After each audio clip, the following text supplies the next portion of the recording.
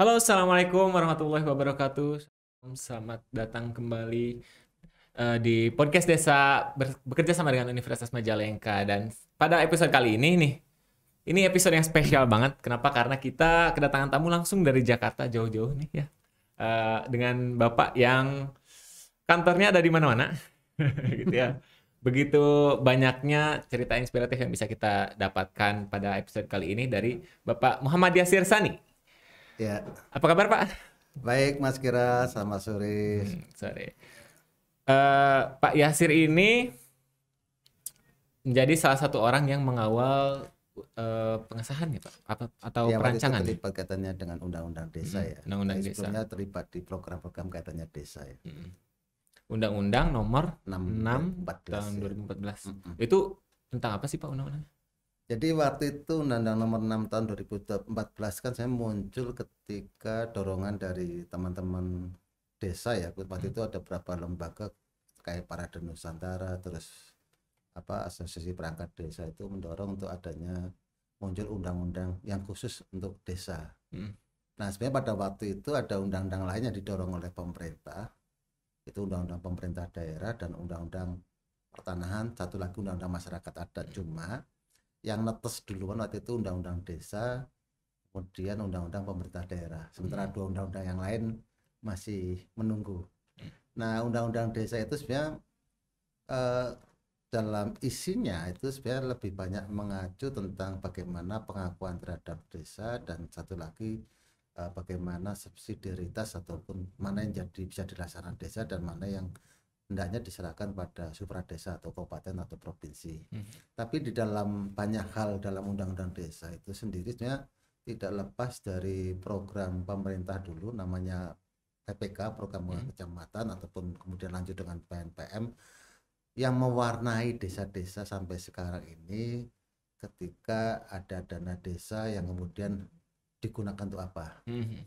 itu yang kemudian masuk kalau dalam undang-undang desa itu diatur kemudian dengan dokumen perencanaan desa atau yang saat ini lebih dikenal dengan RPJM desa maupun RKP desa. Kalau RPJM itu lima tahun, RKP itu tahunan. Di tahunannya sendiri itu dibuatkan dalam uh, APBD desa. Hmm. Itu seperti itu. Itu yang yang menurut saya menjadi penting bicara konteks desa bahwa sebenarnya desa itu kalau dilihat tujuan ya itu tujuan adanya undang-undang desa itu untuk kesejahteraan warga desa itu sebenarnya di situ pentingnya nah sering kali saat ini undang-undang desa lebih lari pada dana desanya Hmm, hmm, hmm. yang dari uh, pemerintah pusat padahal uh, di undang-undang desa itu sumber pendanaan untuk desa itu ada enam itu yang tuh? Mm-mm. cuma memang waktu itu di awal pelaksanaan advokasi kata undang-undang desa ada yang satu bicara konteks bagaimana kepala desa ataupun perangkat desa untuk jadi PNS Hmm. waktu itu muncul juga satu sisi yang ingin bicara konteks pengakuan desanya Hmm. diatur sebagai bagian dari sistem perundang-undangan di Indonesia. Nah dua ini yang dulu bersatu tapi yang kemudian masuk dalam undang-undang desa itu adalah pengakuan desa Desa. melalui undang-undang. Hmm. Sementara untuk perangkat dan kepala desa menjadi PNS itu nggak masuk ke situ. Oh nggak ada di undang-undang Nggak ada di undang-undang situ itu seperti itu. Tapi di undang-undang itu berarti meregulasi tentang apa Undang-undang desa desa gitu. itu itu gini dalam undang-undang desa itu bicara konteks desa maka D itu kalau nulis desa itu D-nya huruf besar. Oh. Jadi dalam desa itu ada kepala desa, ada perangkat desanya, ada lembaga-lembaga di desa plus warga desa dengan wilayahnya. Hmm. Itu disebut desa. Itu seperti itu. Nah, siapa yang kemudian akan menjalankan itu semua? Ya sudah di situ ada ada kepala desa yang dipilih Hmm. ataupun ditunjuk kalau itu desa-desa tertentu. Ada kemudian eh, badan profesional desanya, ada perangkatnya, itu sistem pemerintahnya. Nah, ada warga juga kan yang berkelompok mulai di Karang Taruna, PKK, kelompok tani, macam-macam kelompok-kelompok warga yang ada di desa itu. Nah, semua itu jadi satu kesatuan yang disebut dengan desa. Hmm. Jadi kalau bicara desa itu tidak hanya bicara ngomong kepala desa dan perangkat, tapi juga ngomong warga, Warga dan dan wilayah. wilayahnya Ah, itu seperti ah, itu. Itu, gitu. itu. Tapi tujuan undang-undang desa itu adalah untuk mensejahterakan warga desa. Sebetulnya. Iya, memang situ itu ah. seperti itu. Ha, ha. Tapi tadi katanya lebih sekarang lebih fokusnya ke dana desanya. Ya, karena namanya di Indonesia kan ketika ada pendanaan kan pasti rame ya. Ada Hmm. gula, ada semut itu pasti Ya. seperti itu kan. Nah, dengan Undang-Undang Desa itu 2014, kemudian di tahun 2015 pemerintah gelontorkan eh, anggaran untuk desa dalam bentuk dana desa. Nah, dulu pemikiran dana desa itu adalah hak desa untuk mendapatkan dana. Mhm. Itu karena udah lama sekali nggak dapat, kemudian itu menjadi haknya. Dana desa itu hak desa. Tapi dengan perkembangan sistem keuangan negara dan macam-macam, kemudian dana desa itu adalah uang APBN yang ditransfer ke desa. Nah, karena mekanisme APBN, maka pasti akan menyangkut administrasi, pertanggungjawabannya, mekanismenya. Nah, itu yang kemudian jadi ramai dibahas sampai sekarang ini Hmm. terhadap penggunaan dana desa. Tapi yang kritik juga juga harus memahami bahwa karena mekanismenya diatur seperti itu dana desa menjadi bagian dari keuangan negara, desa akhirnya pada yang selama ini tidak pernah mengurusin kwitansi, beli apa-apa harus ada pertanggungjawabannya. Itu lima tahun sejak 2015 sampai mungkin 2019, mungkin sampai sekarang itu masih berkutat dengan urusan administrasi. Tapi ada hal yang penting di situ adalah bahwa perencanaan desa dan juga rencana tahunan desa itu nggak pernah dibahas. Mhm. Jadi hanya sekedar kalau saya melihat saat ini ya sekedar formalitas saja ada dokumennya. Mhm. Dan di beberapa tempat, semoga di Majalengka tidak ada, itu dokumen desa itu dibuatin. Yang buat bukan orang desa. Bagi saya gini, mungkin di desa itu tidak bisa menggunakan komputer atau mesin ketik misalnya. Iya. Kemudian dia minta tolong untuk mengetikkan. Itu beda ketika pasrah semuanya diserahkan kepada orang tertentu untuk membuatkan. Nah, di banyak tempat itu terjadi karena itu menjadi syarat ketika mencarikan dana desa yang dari APBN ya. Kalau tidak ada itu nggak bisa bisa dicarikan. cair ya. Nah, problemnya adalah dulu semoga sekarang itu banyak copy paste, tinggal ganti nama desanya. Oh. Nah, pada itu yang menentukan desanya sejahtera selama enam tahun kepengurusan kepala desa ataupun lima tahun dalam perencanaan itu ditentukan di situ. Kalau dibuatnya abal-abal atau tidak tahu isinya, yang penting menggunakan dana desa itu terserap kemudian tertanggungjawabkan, itu repotnya apakah warga desa akan sejahtera atau tidak itu nggak terukur. Mhm. Ini yang menurut saya menjadi penting ketika ngomong undang-undang desa. Satu sisi bicara konteks perencanaan secara teknokratis ya, birokratis, ada perencanaan, ada pertanggungjawaban macam-macam. Satu sisi bicara keluasaan, kelonggaran desa untuk apa menggunakan haknya. Karena kan pengakuan desa itu ada di situ. Nah, menyimbangkan antara eh, prinsip eh, rekognisi pengakuan itu dengan mekanisme pertanggung- pertanggungjawaban negara itu sering kali tidak klop. Nah itu yang sering sampai sekarang menjadi perdebatan termasuk kemarin Perpres 104 2021 itu keluar ya tentang bagaimana porsi persentase untuk alokasi dana desa entah BLT untuk COVID ataupun infrastruktur itu jadi ramai. Tapi bagi saya ramai dan tidaknya, tolong kembalikan lagi apakah dokumen di desa selama lima tahun atau enam tahun ataupun per tahunnya disusun dengan benar atau tidak. Mhm. Jadi jangan hanya melihat ke atas, wah ini salah, ini diatur, ini bukan me- apa merampas hak desa, tapi anda sendiri Iya, menjalankan di tidak. ya.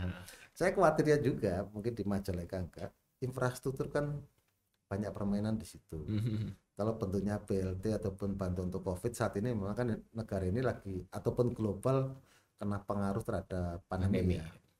Tinggal dipilah-pilah memang banyak pertanyaan yang kemudian oh ini udah dibantu oleh Kementerian Sosial, oh ini dibantu oleh dinas provinsi, kabupaten, desa hanya buffer ya ataupun sisa-sisa. Nah, sisanya tuh seberapa banyak? Itu sampai sekarang itu mungkin banyak yang debatable katanya data, tapi menurut saya yang kena dampak semiskin-miskinnya di desa siapa itu yang perlu dibantu oleh desa? Yang tidak tercover oleh datanya Kementerian Sosial ataupun datanya oleh kabupaten. Itu tugas desa. Dan jangan sampai ada berita saya khawatir juga di Majalengka ada satu keluarga kelaparan gara-gara nggak terima bantuan. Itu jadi pertanyaan penting di mana kalau di undang-undang desa itu prinsip gotong royongnya di mana jadi kalau desa sampai ada satu warganya atau satu keluarganya itu kelaparan tidak terbantukan dipertanyakan modal sosial orang desa kaitannya dengan membantu sama warga. Dan ini memang jadi kritik juga eh, kalau terlalu banyak bantuan seperti apa? Ya khawatir juga. Ini memang dua hal ya. Kalau terlalu bantuan eh, banyak bantuan nanti dianggap urusan orang miskin orang urusannya pemerintah, Iya. bukan urusannya warga desa. Nah, emang di saat ini terjadi kayak tarik ulur ya. Mana yang harus dibantu, mana yang tidak. Nah, jembatan-jembatan ini menjadi menurut saya menjadi diskursus penting untuk melihat kembali desa ke depan seperti apa. Hmm. Itu, itu kaitannya dengan ya perjalanan undang-undang desa sampai sekarang Hmm. urusannya dana desa dengan covid itu seperti itu. Kalau tadi tuh Pak, eh tadi tuh apa sih? Eh, Ah. Kalau misalkan laporan tahunannya itu Hmm. Dia kayak yang tadi copy paste, di dia dirancang dengan tidak benar, itu berpengaruh ke keja- ke keja- kesejahteraan rakyatnya Pak. eh gini masalahnya. Jadi kalau pertanggungjawaban itu misalnya gini lah. eh, Mas Geral dengan tim belanja belanja apa saja terserah. Yang penting ada kwitansi, ada nota, ada macam-macamnya. Hmm. Bener kan? Bener. Apakah belanjanya itu kemudian bermanfaat tidak? Itu kan Hmm. belum tentu. Oh iya. Nah, merencanakan itu adalah misalkan saya punya kebutuhan untuk kuliah itu belanja beli misalkan beli buku, beli mungkin beli flash, flash disk, kemudian beli apa paket internet misalkan atau beli laptop atau servis laptop misalkan penting empat nih. Hmm. Jadi rencana. Kalau terencanakan uang satu juta misalkan pasti sesuai dengan ini. Hmm. Tapi kalau tidak satu juta bisa digunakan untuk nongkrong di kopi apa di warung kopi, iya. mungkin bisa untuk jalan-jalan makan-makan. Mhm. Ya ada pertanggungjawabannya beli kopi pasti ada struknya kan. Iya. Tapi kan manfaatnya buat itu nggak ada. Nah hal-hal gini yang mungkin di desa itu mulai disiapkan betul karena kalau tidak saya khawatir dana desa kan tidak selamanya ada. Hmm. Harapan dulu waktu undang-undang disusun itu kita diskusi dengan para senior ya waktu itu ada Pak Mukuam, Budiman Sujarmiko, ada Yando Zakaria, ada Mas Sutoraiko itu jika dana desa ini dikelola lima tahun saja, paling tidak pendapatan asli desa bisa naik yang tadinya mungkin pendapatannya 5 juta pendapatan asli desa ya, Hmm. mungkin dengan lima tahun bisa naik menjadi 10 juta. Misalkan seperti itu, Hmm. kalau 20 tahun jadi naik berapa? Asumsi itu akan menjadikan bahwa selama-lama pendapatan asli desa naik, dana desanya berkurang sehingga desa jadi mandiri. Mhm. Jadi yang dimaksud kemandirian desa adalah tidak tergantung lagi pada sumber pembiayaan dari Ben. APBN, tapi dia sumber dari sendiri. Ya ada porsi APBN tapi tidak menjadi dominan. Hmm. Itu yang disebut kemandirian desa menurut saya dari faktor itu. Jadi orang di- kayak misalkan kita ya kalau masih mahasiswa mungkin ada yang masih numpang kepada orang tuanya uang bulanan dan sebagainya. Tapi kalau sudah mandiri kan dia udah bekerja sendiri menghasilkan duit sendiri digunakan untuk apa saja ya dirinya yang ngatur. Iya. Itu yang disebut kemandirian itu seperti itu. Hmm. Nah, desa menuju itu waktu itu hitungannya sekitar 20 tahun, 25 tahun untuk bisa mandiri ya. Sekarang kan baru 10 tahun. Masih ada waktu lah 15 tahun untuk memandirikan desa itu gitu. Dan itu menjadi sebetulnya menjadi tanggung jawab siapa sih untuk membantu desa sehingga dia bisa mandiri? Dulu ada konsep desa membangun dan membangun desa. Hmm. Desa membangun adalah desa sendiri yang membangun dirinya. Hmm. Jadi self govern atau kediriannya sendiri yang kemampuan dirinya untuk membangun. Satu membangun desa dari luar yang membantu desa. Hmm. Nah tanggung jawabnya ada siapa? Sebenarnya kalau kan tadi ada satu prinsip subsidiaritas ya. Jika desa tidak mampu dinaikkan ke atasnya. Jika atasnya sudah sudah eh, merasa melihat desa mampu diserahkan kepada desa. Nah ini yang tanggung jawab ini seharusnya ada dua belah pihak tidak bisa diserahkan pada desa sendiri tapi juga pada entah itu kepada kabupaten, provinsi, pusat maupun pada organisasi-organisasi yang selama ini mungkin berkecimpung di desa. Jadi tanggung jawab desa untuk menjadi mandiri satu mungkin tanggung jawab dari desa itu sendiri harus bisa. Hmm. Yang kedua tanggung jawab dari desa sekitar untuk membangun desa dengan logika dan cara berpikir rencana yang sudah disusun oleh desa. Jangan sampai desanya itu sudah punya rencana bagus ya ini bukan yang titipan atau yang dikerjakan orang lain Hmm. punya rencana desanya lima tahun ke depan ada misalkan menjadi yang saat ini tren ya desa wisata misalkan Hmm. tiba-tiba muncul nih dari pusat ataupun dari lembaga lain tidak mendorong membantu untuk desa wisata desa itu tapi kemudian membuat industri pabrik semen misalnya. kan wisatanya rusak Ya. nah hal ini yang mungkin perlu perlu dilihat bahwa tanggung jawab itu pertama memang tanggung jawab desa itu sendiri kedua adalah tanggung jawab dari uh, pemerintah di atasnya pihak lain hanya support tapi semua kembali melihat pada bagaimana dokumen desa yang disusun itu betul. Nah problemnya banyak saat ini desa yang nyusun dokumennya tidak betul. Nah itu yang jadi masalah. Masih banyak. Masih banyak. Masih itu, banyak.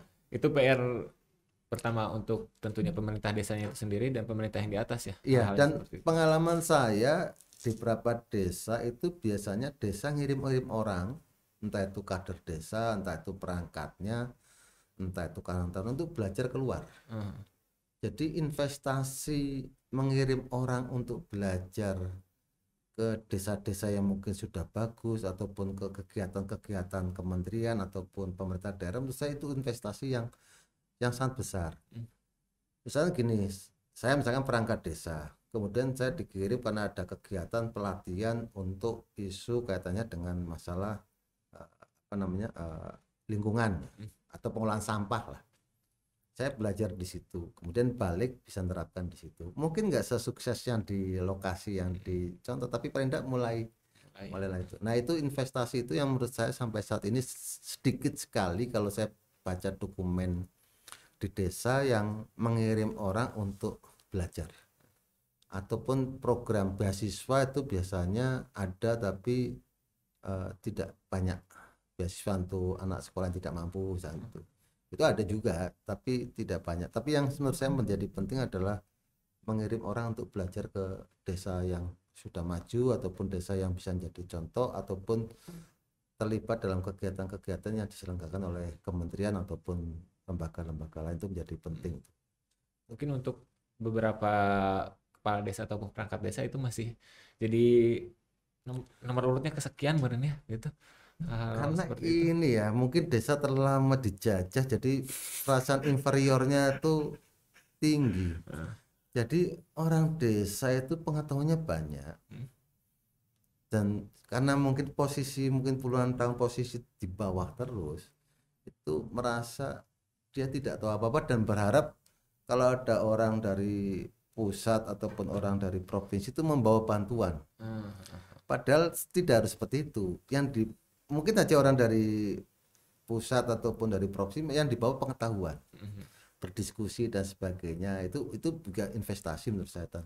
Itu bisa diambil. Tapi kalau kemudian hanya berharap mendapat bantuan pendanaan program itu nggak akan mendidik. Itu menjadi masih ya inferior ya. Nah, kalau kemudian pertanyaan apakah ini terjadi di banyak tempat kalau baca sejarah tentang desa sejak zaman kerajaan sampai sekarang perlawanan kan banyak ya Hmm. perlawanan desa. Tapi sejarah perlawanan di desa kan belum pernah ada desa menang.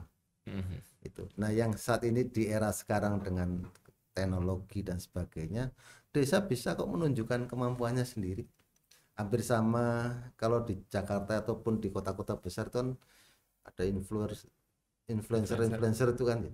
ataupun yang youtuber youtuber Nah, mereka bisa mampu untuk itu itu jadi menurut saya perkembangan teknologi dan informasi sekarang menjadi penting untuk disiasati untuk kepentingan desa Desa. dulu orang promosi produknya aja susah kan Heeh. harus ke surat kabar atau ke televisi atau radio saat ini pakai channel YouTube sendiri Instagram, sendiri. ya kan? pemusik-pemusik juga iya kan Hmm, bisa. Nah, itu menurut saya apa peluang Hmm. Dan bisa menjadi kendala jika tidak desa bersiap-siap di perkembangan digital seperti sekarang ini. Nah, mungkin untuk desa-desa yang jauh dari akses informasi itu mungkin jadi PR. Iya. Tapi dan ataupun desa-desa yang memang menutup diri kan ada. Hmm. Tidak mau terpengaruh oleh teknologi dan informasi yang ada. Tapi itu pilihan di desa dan menurut saya banyak kan ada 74.600 sekian desa masa 10.000 aja nggak bisa lah itu yang lainnya anggaplah masih tradisional yang 10.000 kan bisa diangkat menjadi lebih baik lagi seperti itu. Itu penting. Berarti masih sedikit banget ya Pak yang mengadaptasi digitalisasi di desanya masing-masing gitu. sih tapi saya nggak nyalahkan ya kabupatennya juga belum.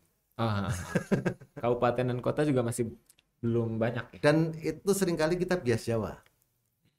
Saya sering dikritik oleh teman-teman di luar Jawa jangan terlalu bias Jawa. Karena maksudnya bias Jawa adalah infrastrukturnya sudah mencukupi Iya. ah, di mungkin Jawa. dari Majalengka yang tidak ada sinyal dari berapa desa sih tinggal Hmm, cuman sedikit. sedikit nah di luar Jawa. Jawa kan masih banyak sekali dan perkembangan itu apa ketika dibawa keluar Jawa misalkan di Papua aja kami berapa kali ke Papua itu tidak bisa teknologi digital Hmm. itu diterapkan langsung tanpa ada literasinya contoh paling gampang adalah saya kemarin ketemu teman-teman penggerak aktivis katanya IT ya. Perkenalan tuh kan biasanya kalau tanya nomor handphone kan nomor handphonenya berapa ya ditulis. Iya. nah mereka hanya pakai barcode.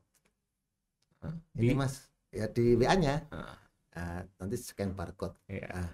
menurut saya itu menjadi menarik anak muda waktu itu teman dari eh, Sulawesi Barat itu perkenalan menggunakan barcode. Bagi yang tidak bisa menggunakan selama ini hanya nulis Iya. mencari barcode-nya di mana kan bingung Iya, betul. dan itu menurut saya menjadi bagaimana literasi Hmm. saya yang selama ini menggunakan WA pun kemudian ketika perkenalkan perkenalan nomor HP pakai barcode itu juga gagap juga nyari-nyari dulu mana weh. untung masih ingat tuh ataupun kalau sekarang waktu pandemi itu kan banyak restoran itu menu tuh pakai barcode Iya, pakai lah kalau orang di Papua yang nggak tahu scan Hmm, barcode iya. gimana? Nah itu harus diajarin dulu baru masuk ke teknologi terapannya literasi digital menjadi penting sehingga eh, tingkat apa namanya eh, dampak negatif dari perkembangan teknologi dan informasi paling tidak bisa dimitigasi. Hmm. kalau enggak ya hanya ya hampir sama dengan saya mungkin ya punya internet paling hanya untuk WA baca berita email nonton YouTube. Tapi untuk sesuatu yang sifatnya ekonomik startup dan sebagainya itu butuh effort lebih. Apalagi kayak di daerah-daerah luar Jawa banyak orang yang nggak punya rekening. Hmm. Bang, ada rekening banyak jauh. Lah iya kan? Ya, benar. Iya kan? Di Papua itu kalau jalan kaki ke distrik karena di distriknya ada BRI misalkan kan perlu jalan kaki Iya. sehari ataupun setengah hari untuk jalan kaki ataupun kalau pakai kendaraan butuh kos di Mahal. tempat mahal di tempat-tempat lain kayak di Mentawai harus naik ke Tinting atau kapal kecil dulu baru dapat BRI yang ada di situ ngambil duit. Itu kalau pas sampai situ duitnya ada ternyata di unit atau pin unit yang ada di BRI itu uangnya udah habis. Nunggu lagi balik lagi ke, ke kampungnya jauh harus nginep. Itu problem-problem real yang terjadi di luar Jawa itu seperti itu. Jadi ya bersyukur yang tinggal di Jawa tinggal bagaimana sumber daya yang di- alam yang dimiliki mana apa manusia dengan informasi yang begitu mudah aksesnya untuk lebih cepat ya bergaul. Hmm. Memang problemnya adalah ketika ngobrol dengan teman-teman di luar Jawa, yang daerah-daerah pedalaman akan merasakan perbedaannya. Hmm. Ya, seperti itu. Dan menjadi tanggung jawab bersama tentang literasi digital ini ya, nggak Harus. hanya satu pihak. Ahli literasi juga bertanggung jawab bersama. Tidak bisa orang langsung dikenalkan, wah ini ada startup, misalkan apa sayur box, oh, Hmm. wah nanti jadi sayur box, nggak bisa.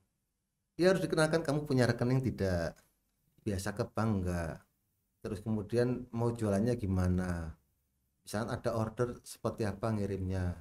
Makanya saat ini yang kalau dicermati paket jasa apa itu JNE macam-macam JNE, ya, ya oke kan itu jasa pen- kan laris maris. Hmm. Nah pos kenapa kalah itu juga menjadi pertanyaan juga. Hmm. Nah kemampuan-kemampuan itu yang harus dibaca bahwa memang eh, apa usaha-usaha pengiriman barang itu sampai masuk level jauh loh, sampai ke desa yang remote pun mereka masuk. Yang dulu hanya kita kenal pos, sekarang sudah diambil Betul. oleh banyak Banyak. banyak perusahaan barang apa jasa tit- eh, antar jem- antar jemput barang itu di situ dan itu adalah tantangan kita kalau misalnya tidak bisa ngimbangin itu teknologi yang berkembang cepat nasibnya akan seperti kantor pos jadi fosil itu. Kalau eh, tadi kan Bapak udah keliling nih, banyak banget Hmm. ya. Dari 34 provinsi cuma satu kata yang belum di ya. ini Sulawesi Barat Barat. Dari berbagai desa. Berapa tadi 74 ribu ya? tujuh ribu empat ribu enam ratus delapan puluh desa Mm. kalau nggak salah itu terakhir Problematikanya apakah akan sangat jauh berbeda dari satu desa ke desa yang lain? problemnya pasti sama kalau untuk saat ini ya kalau kaitannya dengan das- dana desa pasti problem administrasi Hmm. hampir semuanya sama terus kemudian problem yang kedua menyangkut masalah kan jadi gini uang dikirim dari pusat ke desa Hmm. desa mau ngambil udah masalah. Kalau di Hmm. daerah-daerah yang sulit. Oh, Nah, itu kan harus ke kabupaten ataupun ke bank terdekat. Tapi biasanya ke kabupaten tuh diajukan ke KPPN kan. Terus kemudian pelaksanaan. Kalau kegiatannya infrastruktur daerah-daerah yang kepulauan atau daerah-daerah yang pegunungan kan ngirim semen ngirim besi kan Mhm. butuh biaya lagi. Itu juga problem lagi itu bisa aja harga semen kayak di Papua 800 ribu satu setengah juta karena naik pesawat Nah, problem itu sebenarnya bisa diatasi kalau orang sudah tidak mengimajinasikan kampungnya mirip kampung di Jawa. Artinya apa? Orang tidak mengimajinasikan rumah dia rumah bersemen ataupun Ah. bergaya Spanyol atau bergaya apa pun seperti yang ada di, Di Jawa. Di Jawa juga jadi masalah karena sebenarnya bangunan rumah-rumah di Jawa yang asli itu udah hilang. Hmm. Jadi kalau ini selama ini pengalaman ke desa-desa yang banyak TKI ya biasanya. ya. Hmm. Biasanya rumahnya depannya bagus-bagus. Ya. Tapi sepi dan dapurnya pasti kondisinya apa namanya tidak tidak bersih seperti depan rumahnya. Hmm. Karena di Jawa itu biasanya lebih memperhatikan tampilan muka dibandingkan belakang. Beda kadang orang etnis tertentu. Hmm. Etnis tertentu kan kadang-kadang pagar di depannya tuh pakai besi nutupin tapi Iya. dalamnya begitu Ah. mewah. Nah, itu seperti itu. Itu yang menjadi kita mulai sadar bahwa ternyata budaya kita itu mulai pergeseran. Hmm. Kalau dicermati lagi orang kalau saya orang Jawa Tengah dulu rumah Jawa Tengah bentuknya banyak joglo. Hmm. Karena apa? Untuk menampung banyak orang bertamu di situ ataupun keluarga besarnya datang ke situ sehingga dibuat joglo yang besar sehingga nampung banyak orang. Orang. Tapi perkembangan sekarang ruang tamu jadi semakin kecil. Iya, saya kecil. Karena apa? Orang semakin tidak suka didatangin tamu. Hmm. Nah, itu itu seperti itu. Jadi lebih juga ya kalau ada tamu dibawa ke kalau yang betul-betul spesial dibawa ke ruang dalam nonton TV macam-macam. Tapi ruang tamu semakin diperkecil. Intinya apa? Bahwa dulu yang masyarakatnya sangat sosial, kemudian berubah bergeser lama-lama menjadi sangat individual. Individual. Itu itu yang terjadi. Kalau mencermati dari struktur bangunan rumah ya Hmm. itu itu yang menurut saya menjadi penting bahwa apakah hal kayak gini akan dibawa ke luar Jawa luar Jawa misalkan di Dayak yang rumah panjang itu kemudian lama-lama geser seperti rumah di Jawa yang kemudian jadi ruang tamunya kecil-kecil kan enggak karena rumah panjang kan isinya berapa keluarga dan itu menjadi rumah bersama lah untuk berbagai hal Dan Gitu.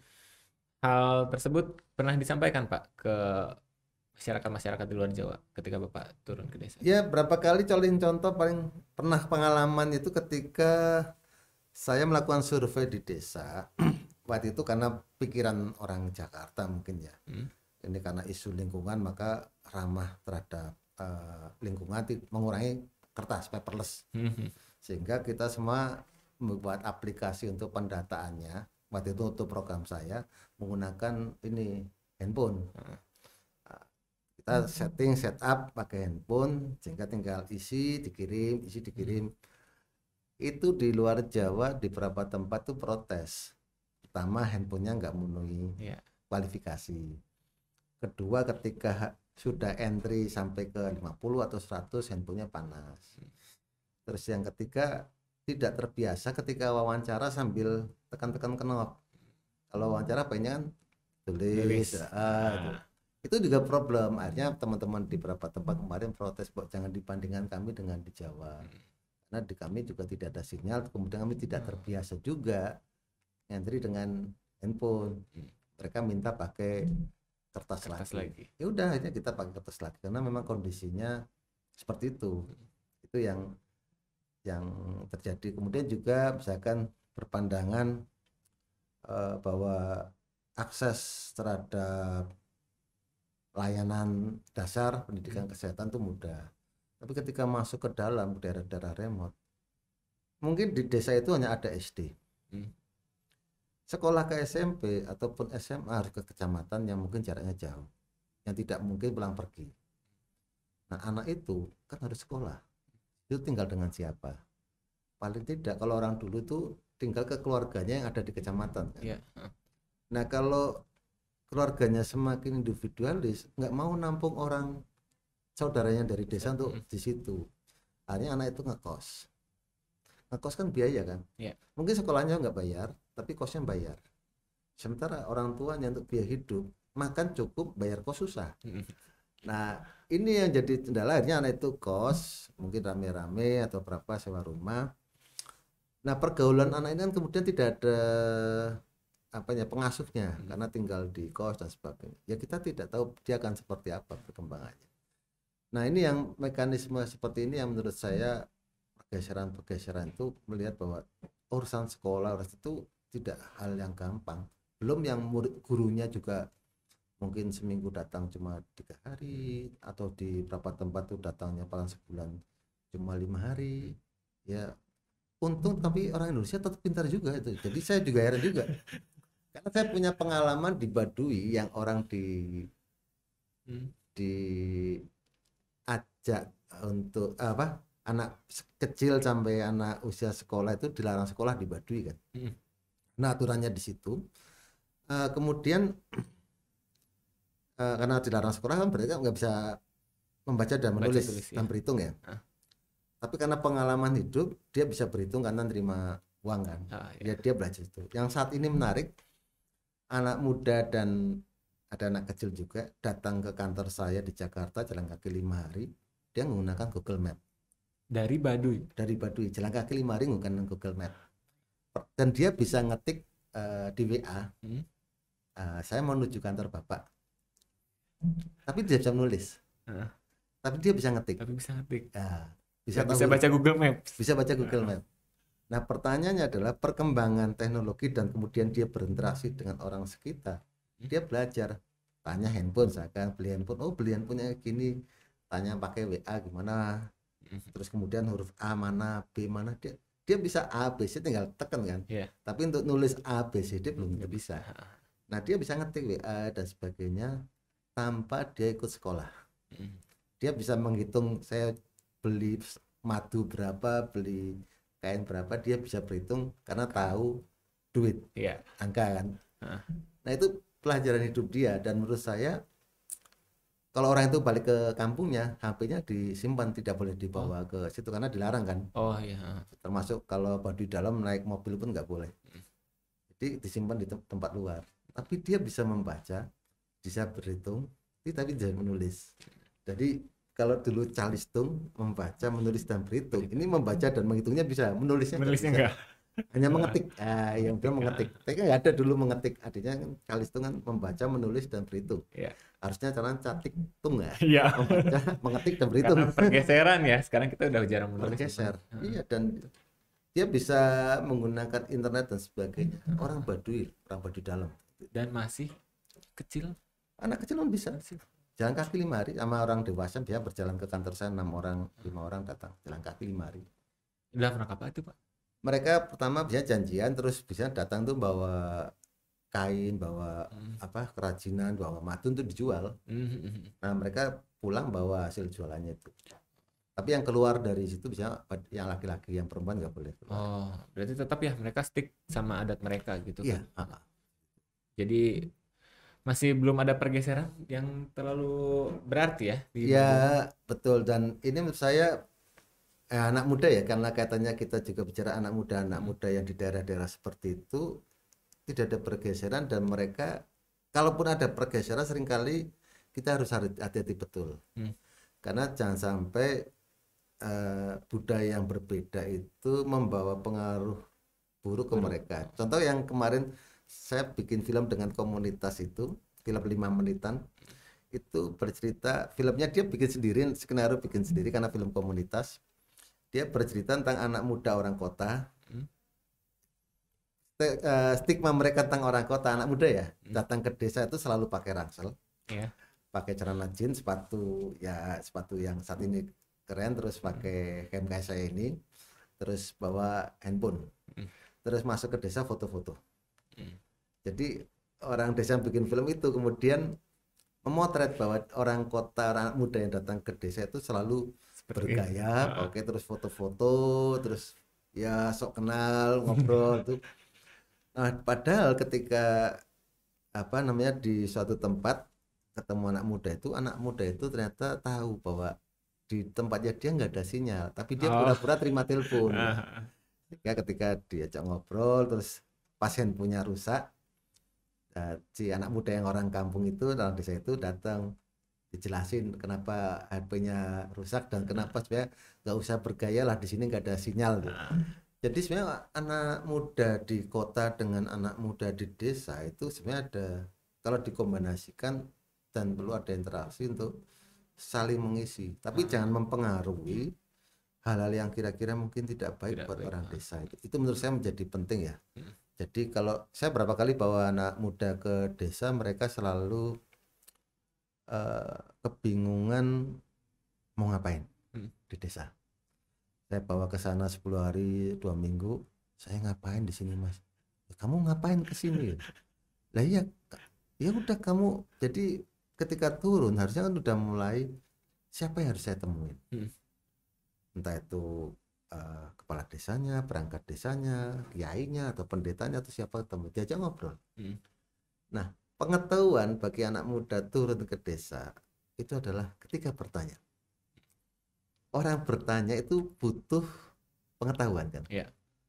Nah, ketika bertanya, mungkin pertanyaannya lucu, bagi saya nggak masalah, asal dia bisa menggali terus kan. Nah, kemampuan bertanya, kemampuan diskusi, misalnya dibalik orang desa. Hmm.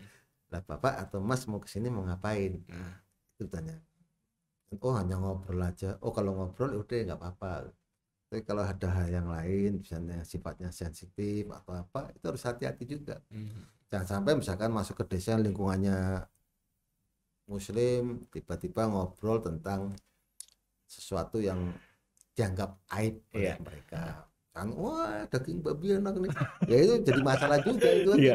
Ini- hal kayak gini yang harus rasa itu harus dimiliki ketika masuk ke desa ngobrol kecuali dia memang dari desa sekolah di, di kota balik lagi ke desa nggak Hmm. masalah tapi bagi yang orang-orang betul-betul tidak pernah ke desa itu jadi harus ada di situ. Karena biasanya kalau memang lahir di kota nggak punya gambaran sama sekali tentang desa gitu. nggak punya gambaran sekali tentang desa. Makanya sering kalau saya dalam pelatihan tuh untuk menggambarkan desa dulu, sekarang sudah nggak. Dulu tuh kalau gambar pemandangan pasti dua gunung, Iya. matahari tengah, sawah. Iya, betul. Itu sebenarnya pola yang ditanamkan mencuci otak dari dulu. Hmm. Dan ke- sekarang itu saya kalau suruh gambar pemandangan sudah sangat variatif, berarti otak anak muda sekarang sudah tidak tercuci Tercuci. dengan Iya. itu. Karena itu dari dari dulu banget ya. Iya dari dulu namanya gambar pemandangan pasti dua Pasti kayak gunung, gitu. matahari tengah ada ada apa? Ada burungnya tiga, Iya. ada awan, Ada sawah, sawah, gitu jalan kan. di tengah-tengah itu. Iya. Itu. itu. Ah, betul, betul. Sekarang mungkin anak muda di kota juga berarti lebih terbuka ya, lebih terbuka pandangannya tentang oh desa ini seperti ini gitu. Eh, belum semuanya seperti Oh. itu karena orang anak muda di kota saat ini berusaha untuk mencari kebanyakan ya saya tahu ya mencari jati dirinya. Mhm. Nah, mencari jati dirinya itu biasanya lari ke teknologi atau pelariannya itu bisa ke sifatnya eh, kalau yang positif ya saya bicara positif adalah bikin usaha. Mhm. Jadi bikin usaha yang menggunakan digital. Nah, cuma resource atau sumber dayanya untuk berjualan itu mereka masih sifatnya sif- eh, kayak gini lah, misalkan jualan speaker, jualan HP, Hmm. jual- belum hasil milik desa. Oh ya. Nah, sementara di pemuda desa yang punya banyak sayur, punya banyak ayam atau sebagainya, kadang-kadang belum terconnecting nih dengan Hmm. orang-orang kota yang bisnis. Nah, kalau dikonektikan kan saya bagus. Sebenarnya ada beberapa anak muda yang bagus. Dulu saya pernah kenal namanya Sano tuh yang ngajarin modal bisnis kanvas dari Generation. Dia tuh menjual tas lipat yang saat ini menjadi kalau saya bawa juga sih ke mana-mana saya pagi karena biar dianggap aktivis lingkungan tas lipat itu kerjasama kayak gini nih nah Hmm. ini kalau dibuka kan isinya apa namanya bisa jadi tas plastik lah Oh iya. Nah, ini dulu yang kenalkan pertama dulu namanya Generation itu Sano itu dia kerjasama dengan penjahit penjahit yang ada di suatu tempat kerjasama ditawarkan tapi yang dijual oleh karena ini anak muda ya Cita ya Hmm. bukan tas ini yang dijual adalah isu lingkungan, Lingkungan. Ya, betul, betul. nah membrandingnya dia pintar walaupun ini yang kemudian jadi produk Produknya. yang di Dijual. dijual ke Circle K ke berapa bank ya untuk ditawarkan tapi isu yang dikemas dari isu lingkungannya Hmm. Ya, saya belajar ke dia juga dia anak muda yang ya tekun ya nge- mengembangkan itu semua. Dan ini di desa belum ada. Ah. Orang Jakarta kadang-kadang atau orang kota memiliki hal ini. Jadi menurut saya menarik kayak tadi teman diskusi di sini banyak cabai banyak apa namanya semangka banyak wortel macam-macam ya. Kol atau apa ataupun apa daun bawang. Kalau kita jual biasa saja ya akan seperti petani Iya, biasa. biasa. Tapi kalau kita menjual dengan bahasa yang berbeda jangan bahasanya bahwa daun wor daun apa daun bawang Apa? itu bisa untuk apa obat atau untuk apa itu yang dijual adalah kesehatannya Hmm. walaupun ujung-ujungnya daun bawang, bawang. tapi yang yang dijual sehatnya atau jahe merah misalnya dulu booming ya Ya. yang dijual kan isu kesehatannya ya walaupun yang dijual Jahe. ya, ya kalau dulu HP dulu kan HP apa Nokia itu HP sejuta umat ya Ya. apa connecting to people kan Connect. bahasa. Tapi yang dijual kan HP. Hmm. Tapi dengan ngomong connecting to people berarti antar orang antar warga akan berkomunikasi. Nah apa ya HP? Itu dulu seperti itu. Iya, Sekarang. HP udah udah banyak mangkrak. Itu yang menurut saya menjadi penting di desa dan di kota ya. Jadi orang kota pun eh, resource untuk menjual hasil bumi yang ada di desa atau kalau istilahnya orang desa itu bekerjanya ke kota orang kota mencari nafkahnya ke desa itu belum terjadi. Ah, jadi kalau yang terjadi ya baru orang desa, Desa menjual hasil bumi ke kotanya. Ah. lewat calo atau lewat apa orang kota itu kemudian ya mencari nafkah atau melihat desa sebagai apa istilahnya ya sesuatu yang bisa dijual. Misalkan gini saya ke desa ataupun artis lah kalau saya sih nggak artis ke desa itu kemudian eh, di situ di desa ketemu dengan warga yang kurang mampu Hmm. kasih bantuan terus di situ ada Nah, sawahnya iya, iya. lihat ayamnya laris dijual pun di YouTube Betul, betul. iya kan Heeh. tinggal sekarang kan di dunia apa komunikasi entertain sekarang orang itu pilihannya menjual wajah dengan sangat cantik atau menjual wajah dengan sangat jelek nah itu yang laku nah membranding itu sama. Membranding desa menjual sesuatu karena kejelekannya ya laku tapi jelek. Tapi jelek. tapi menjelaskan untuk kebaikannya itu menjadi penting. Itu yang kasus desa di teman-teman di desa Melung. Kalau nggak salah ada bukit trilogi apa apa namanya ya. Ketika saya datang ke bukit itu udah naik motor pulangnya jatuh lihat bukit di situ apa yang menarik di sini? Nggak ada toilet nggak ada apa. Tapi kalau pas tahun baru yang ngumpul untuk berkemah itu sampai 5000 orang nah anak muda itu ketika ditanya apa sih anaknya? Itu hanya lihat ini apa? Eh, sunrise matahari pagi gitu. Foto-foto. Ya udah. Tapi itulah anak muda sekarang yang dengan kayak eh, pola pikir dengan diskusi yang memang di era kekinian itu. Hmm. itu beda dengan zaman mungkin saya ya diskusinya terlalu kebanyakan diskusi sampai nggak ada action saat ini actionnya banyak. Ah, ngobrol sebentar. Aja kita bersih bersih mana? Jalan sepanjang jalan Hmm. raya. Jadi kegiatan. Hmm. kalau kita dulu mikir bikin proposal dulu. Eh, sekarang ya udah dengan WA eh besok jam 10 hari Minggu kita bersih bersih jalan. Siapa yang mau ikut? Absen. A B C D. Selesai. Ah, ah. dulu kirim surat dulu. Muter dulu. Lama ya. lah sekarang dengan teknologi semuanya mudah tapi kalau tidak diimbangi dengan pengetahuan dan literasi yang cocok, cocok itu akan jadi bumerang. Orang akan kemudian mengalami kondisi terstak pada suatu hal melihatnya tinggi tapi yang dilakukan belum apa yang diharapkan dan kemudian dia akan kehilangan jati dirinya. Hmm. saya mau ke mana itu? Itu yang saya temukan di anak muda di Jakarta banyak kan mengalami kondisi-kondisi seperti itu dan yang saat ini menarik di Jakarta ataupun di kota-kota besar orang sudah tidak lagi peduli punya rumah atau tidak karena pengalaman orang tuanya ketika punya rumah gede-gede anaknya pergi semua Ah, iya. itu udah mulai terpikir di mereka ngapain saya beli rumah anak saya Benar. dua atau anak saya satu nanti pergi semua saya Iya. tinggal sama dua mending saya eh, apa namanya kontrak, Kontrak. atau apa di apartemen itu terjadi ke teman saya Hmm. Teman saya anaknya satu ketika udah mulai sekolah mereka mikir ngapain saya tinggal di rumah hanya berdua mereka menjual asetnya mereka mau tinggal eh, apa pindah-pindah ah, ah, ngont- ah, kos di- kontrak sini kontrak kos sini seperti itu itu terjadi di di generasi sekarang ya Di perkotaan seperti itu. ya, perkotaan dan kelas menengah Hmm. Karena beda kelas beda lagi ya.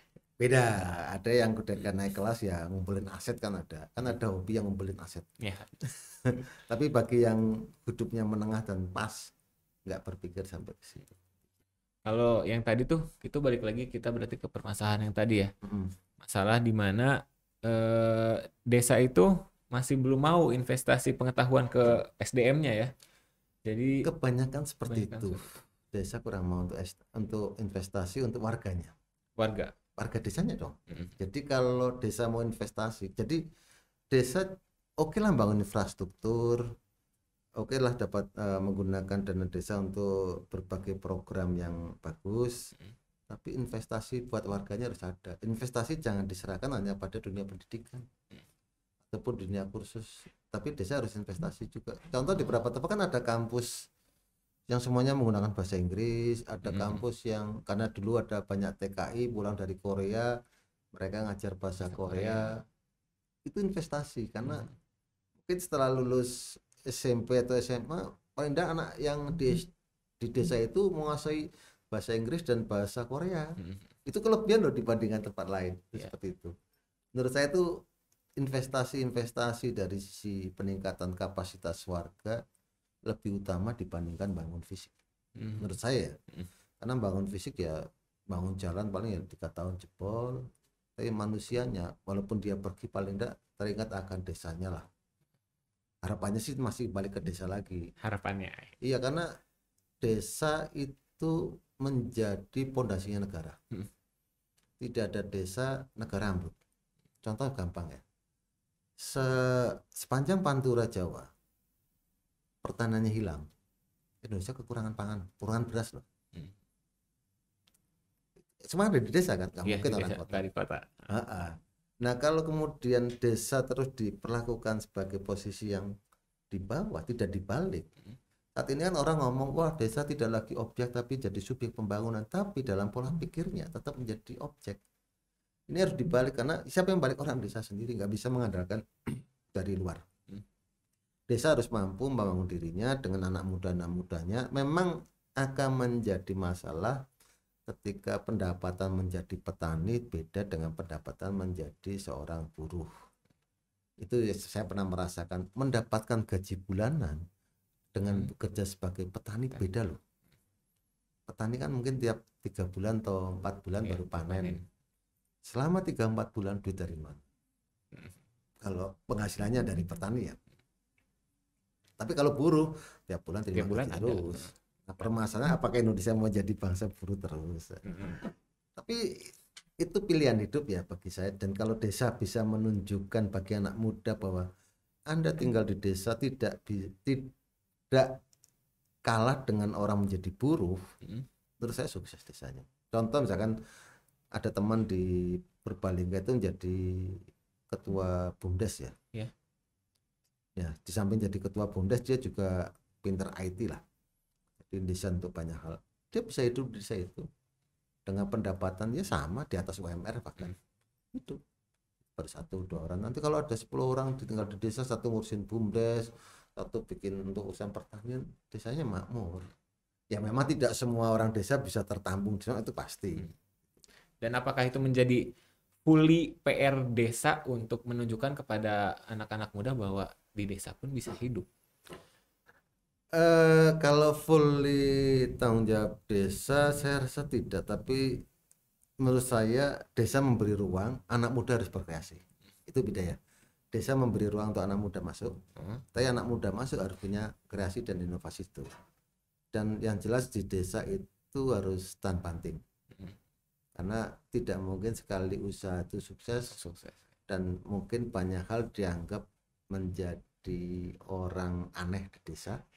Iya. karena tidak berhasil berhasil itu. karena ah, tapi kemudian ketika berhasil ya dia akan menjadi lead dan bagus untuk desa. Menurut saya dua-duanya harus seimbang. Nah sekarang tinggal anak muda yang turun ke desa tidak bisa kayak zaman saya mengandalkan teriak-teriak di jalan.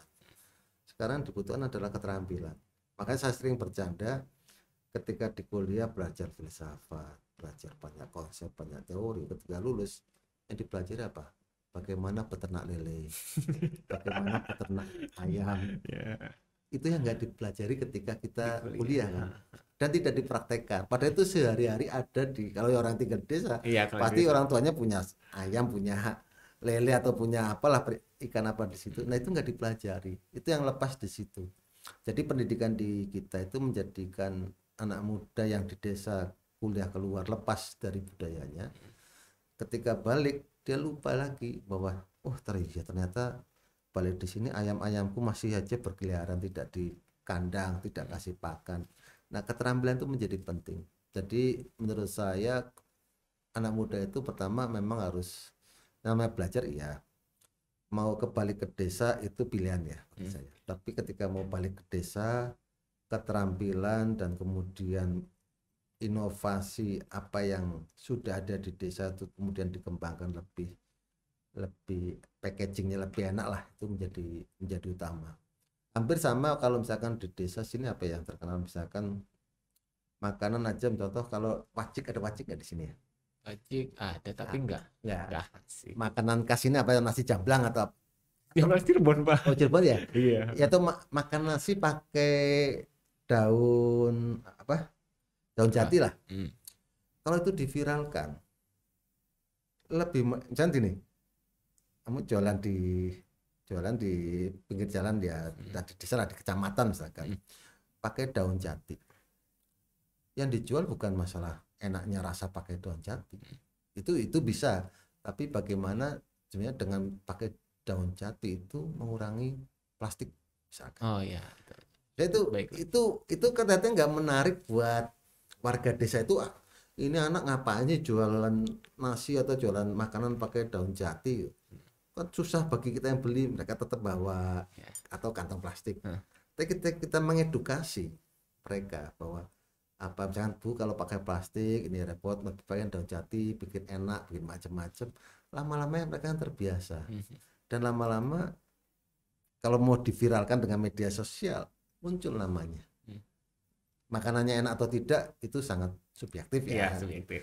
tapi paling tidak menjadi menarik ketika ada orang jualan mena memasukkan isu-isu lingkungan isu-isu tentang sampah plastik menjadi hal yang penting di di Majalengka karena di beberapa tempat sampah itu jadi masalah loh di desa sangat jadi masalah Di sini juga jadi masalah sih, Pak. Meski- meskipun enggak eh, kalau saya kurang tahu untuk Mm. di desa-desanya mah di tingkat desa. Tapi kalau di tingkat kabupaten, setahu saya itu juga jadi masalah Iya. yang ini sih. Nah, kalau kita ngurangi sampah plastik dengan sampah hanya daun jati kan tinggal dibuang di apa? Buka tanah Di- ditaruh itu kubur udah, ya, kubur udah selesai kan Ah. atau dibakar. Ini kalau plastik kan jadi repot. Nah, ini hal kayak gini kecil-kecil ini yang menarik di anak muda sekarang, kecil tapi kayak cat berawit. Sesuatu yang dilakukan kecil-kecil tapi punya dampak banyak. Saya punya sepupu itu eh, kerjanya hanya bersih-bersih sampah di pinggir pantai. Hmm. Tapi dia bisa bisa bercerita ke berbagai negara tentang aktivitas dia. Hmm. Dia hanya bermain di media sosial, di IG dan di IG ya terutama waktu itu dengan Facebook. Dia bisa menceritakan dengan baik kenapa dia melakukan kegiatan bersama teman-temannya untuk membersihkan sampah di pinggir pantai. Simple. Kalau dulu kan kita mikirnya nggak ke situ. Iya. Itu yang menurut saya menjadi kelebihan anak muda sekarang dan kalau misalkan masuk ke desa, pilihannya hanya dua bicara konteks ekonomi atau bicara konteks memang eh, dia memajukan desa. Hmm. kalau bicara konteks ekonomi dia bagaimana dia mengupgrade dirinya untuk bisa berproduksi dan menghasilkan pendapatan buat dirinya. Tapi kalau memajukan desa berarti dia ngajak warga teman-temannya untuk bersama-sama. Misalnya gini nih, teman-teman bikin podcast kayak gini. Siapa tahu di desa butuh juga itu bisa aja berapa desa ngumpul, ayo Iya. tolong bantu untuk podcast kami, ya udah nggak apa-apa. Tinggal nanti diskemakan, termasuk di desa saya itu ada film-film ngapak, itu harus juga tuh. Hmm. Masuk ke YouTube, konten-konten YouTube. tuh. Oh masuk ke itu. Iya, bikin film 10 menit, 15 menit Dan itu dibuat oleh warga. oleh komunitas. Dan mereka ya dianggapnya tadinya kelompok nggak jelas karena sering nongkrong-nongkrong, bikin film, bikin itu. Tapi akhirnya ketika sekarang produk mereka bukan bikin film, kaos, Hmm. merchandise-nya yang dijual. Jadi itu menarik. Dan pemerintah desanya suportif pak itu di sana.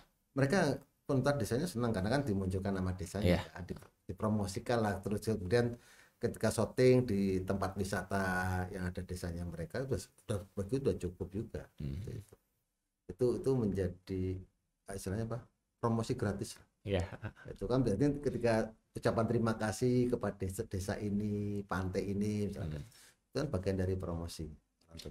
Dan itu masih sangat sedikit desa yang mengadaptasi seperti itu ya, yang memberikan ruang kepada anak mudanya untuk berkreasi seperti itu gitu. Eh iya karena sama-sama tidak tahu. Dari Ya pihak dari pihak desanya. desanya, entah perangkat desa atau kadesnya tidak tahu caranya. Hmm. Anak mudanya juga tidak tahu caranya masuk gitu kan sama-sama tidak Ah, tahu. Jadi kalau sama-sama tidak tahu, biasanya ya, ya harus ketemu dulu untuk Hmm. saling. Misalkan gini, Mas Gerald atau datang ke desa, mau ngapain saya ke desa? Ke kantor desa aja lah. Nah, Saya mau ngapain ya ke sini itu? Itu pertanyaan pertama kan dari kepala desa atau perangkat desa. Ini ada anak mahasiswa Majalengka ke sini mau ngapain ya? Nah, kan ketemu nih, ngobrol, ngapain ke sini? Main ngobrol, diskusi. Langsung kalau nukik, Bapak nggak ngajari kami anak muda untuk ini nih ya marah kan? ah iya. Ya, terus Pak, saya jurusan ini ingin belajar desa, kira-kira apa yang perlu dibantu misalkan, ataupun yang kira-kira bisa kita saling eh, diskusikan di desa. Oh, saya butuh ini, butuh ini ya, tulis saja. Mana yang bisa? Atau mana teman, oh saya butuh diajarin ini akuntansi misalkan. Wah, ada teman akuntansi, eh sini ikut aku dong, ngajarin akuntansi. Mulai dari hal kayak gitu terus itu belum bicara konteks ke ekonomi ya baru Hmm. bicara membuat trust ya percaya dengan orang desa kemudian apalagi nah itu kan berkembang nah udah berkembang bisa dikasih ruang nih bisa misalkan ngajak entah itu dari caman atau dinas untuk ketemu bikin acara itu udah mulai itu ya itu udah udahlah nanti jalan sendiri ruang terbuka lebar. Ide akan gampang masuk tinggal ada support nggak misalkan bikin podcast. Saya yang bikin acara film komunitas itu desa nganggarkan 70 juta. Hmm. karena waktu itu saya bikin film yang masuk ke apa namanya FFI dan berapa festival film itu karena mainnya main komunitas dan sebagainya orang desanya tertarik kemudian per des, eh, sekdes sama kepala desanya nganggarkan kalau nggak salah 70 juta untuk beli kamera beli macam-macam lah Oh. Nah dalam perjalanannya filmnya jadi berapa kali tapi nggak laku karena cara cara marketingnya salah. Akhirnya mereka bergeser dari tadinya bikin film-film komunitas karena nggak ada pendapatan, kemudian saat ini jadi ini apa namanya untuk syuting-syuting pernikahan. Oh iya iya. Lumayan tuh. Jadi, Bagi saya nggak masalah ya adanya itu dulu nanti Mhm. kembangkan lagi. Tapi udah kalau ada setiap pernikahan ada job-job itu ya mereka terima syuting dan ada paling tidak ada dikembalikan darinya berapa dan mereka Oh. bisa uh, bisa makan di situ lah Hmm. itu dari bermain apa syuting pernikahan atau syuting kematian apa tergantung order Iya, event seperti itu. Itu itu yang penting. Terakhir Pak, Hmm. harapan untuk tadi pembangunan desa oleh mungkin pemuda ataupun perangkatnya itu sendiri ke depannya. Eh, ke depan gini ya, kalau saya untuk anak muda ya, khususnya teman-teman di Majalengka, bahwa sesuatu memang dimulai dari pengetahuan. Pengetahuan apa pun yang dimiliki lah. Hmm. Nah, cuma pengetahuan itu harus diimbangi juga dengan keterampilan teknis. Maksudnya begini, pengetahuan orang untuk meniup balon. Pengetahuannya nih, Iya. oh teorinya adalah balon dibuka, ditarik-tarik Ya. dulu baru ditiup. Itu. Tapi ketika teknik meniup balon ada ditarik gini seret, itu kan teknik yang memang harus dilatihkan, dilatihkan. Nah, itu harus teman-teman harus pengetahuannya dimiliki, tekniknya harus dilatihkan di Dilatih, situ. ha. Nah, untuk latihan tuh di desa itu ada, maka aparat desa ataupun kepala desa ataupun desa itu memberi ruang. Misalkan di sini ada jurusannya apa aja? Ekonomi, Ekonomi, informatika, informatika. sipil. Nah, informatika aja contoh. Datang ke desa, Pak. Bapak belum punya paling gampang lah website ya. Misalkan lah ya. Iya. eh, saya punya website nih, bisa bikin website. Hmm. Bapak mau nggak bikin website? Itu contoh paling gampang lah bahasa cepatnya itu ya. Eh, boleh seperti apa websitenya gini-gini. Ini yang gratis Pak. Nah, websitenya dibuat jadi. Hmm. Tapi kan nggak ngajarin orang desa untuk ngisi, Ah, nulis. Nah, informatika di samping hanya bikin websitenya itu kan pengetahuan membuat website itu menjadi suatu keterampilan teknis. Hmm. Tapi pengetahuan memahami desa bagaimana memasukkan berita entah tiap tiga minggu sekali atau tiap minggu sekali ke dalam website itu sehingga tidak mati itu menjadi penting. Iya. Nah, interaksi ini yang menurut saya menjadi penting. Oh Pak, ini website sudah jadi. Tapi yang isi kan tidak mungkin saya karena hanya saya buatkan. Ini ada teman-teman lain dari pers mahasiswa ngajarin eh, anak muda di desa itu untuk bikin apa namanya Berita. berita Oh, untuk bisa dimuat boleh nggak Pak? Silakan. Nah tinggal disepakati eh apa nih eh, keuntungannya ada Hmm. berita itu paling tidak nama nama yang nulis berita muncul kan. Iya. Nah tinggal teman-teman di informatika itu kemudian membantu memviralkan ke beberapa grup berita-berita yang di desa itu. Itu seperti itu. Jadi dua lini itu harus saling mengisi ya dan di, menurut saya di Majalengka yang ada kampus, ada teman-teman pegiat desa, ada kepala desa dan sebagainya menjadi penting. Yang memang kan akan berbeda mungkin lain kartu kita bicara advokasi ini mungkin Hmm. beda. Ini kan sifatnya lebih banyak bicara konteks mengharmonisasikan hubungan anak muda dengan desa. Iya. Tapi kalau bicara advokasi itu Akan beda lagi. Iya kan. Jadi yang paling penting yang pasti adalah ngobrol, ya kan, Pak? Oh iya, Ngobrol, Ngobrol, antara terus. pemuda, desa, Mm-mm. dan pemegang kepentingan yang lain. Iya, ngobrol. Dan kalau ngobrol itu harus kalau bahasa sini pasti ada hal kayak mana yang kira-kira dianggap "Ah, ini kok obrolannya terlalu masuk jauh nih. Ya. Pasti tahu lah ada Iya. orang sini lebih tahu tuh. Ya. Oke Pak, terima kasih ya. Ya, Eh, sama-sama. sangat inspiratif dan sangat membuka wawasan sekali Hmm. obrolan kali ini. Alhamdulillah banget saya bisa ngobrol sama Bapak Pak Sani ya. Sama-sama. Sekali lagi terima kasih Pak atas kehadirannya Ya. dan terima kasih juga kepada semua yang udah nonton. Ya. Eh, sekian, saya Geraldi Fatullah pamit undur diri. Wassalamualaikum warahmatullahi wabarakatuh.